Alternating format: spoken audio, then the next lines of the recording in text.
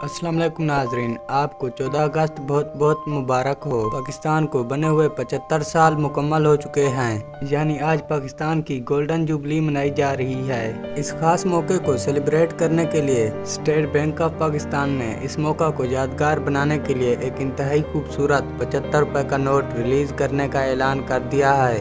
ये एक यादगारी नोट है, इसका पाकिस्तान की मीशत से कोई ताल्लुक नहीं।